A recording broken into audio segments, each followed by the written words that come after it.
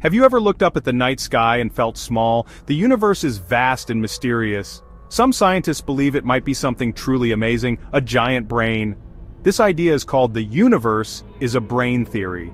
It suggests the universe isn't just a random collection of stars and galaxies, it might be a thinking, interconnected entity.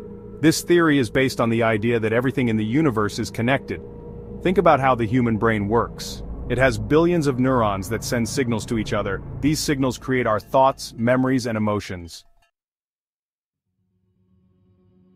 The universe has its own kind of network. Galaxies are connected by gravity. They form clusters and superclusters like a giant web across space. Information might travel along this web, just like signals in the brain.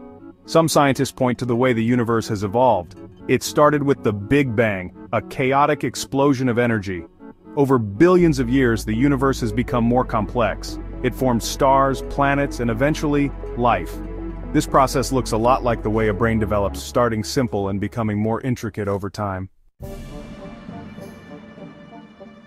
There isn't direct evidence to prove the universe is a brain. It's a very new and radical idea. However, there are some interesting clues. For example, scientists have found that the structure of the universe looks surprisingly similar to the structure of the human brain. This could be a coincidence. Or, it might be a sign that the same fundamental laws govern both the very small and the very large. More research is needed to understand these similarities. Awe and wonder. The universe as a brain theory is fascinating because it challenges how we see ourselves and the cosmos. If the universe is thinking, what does it think about? Are we just tiny parts of a much larger consciousness? These questions are mind-boggling. Even if the theory turns out to be wrong, it encourages us to think big and to wonder about the true nature of reality. Dissenting voices.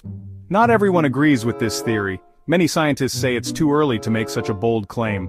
They argue that we don't fully understand our own brains, let alone the universe.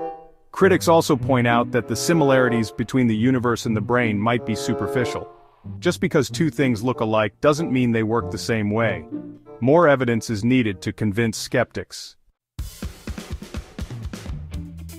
Our place in the cosmic mind, the universe is a brain theory is still in its early stages.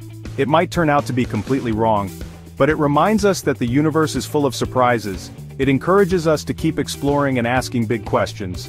If the universe is a giant brain, then we are all part of something much greater than ourselves. This idea could change our understanding of life, consciousness, and our place in the cosmos. Thank you for watching. If you enjoyed this video, please subscribe and share it with your friends.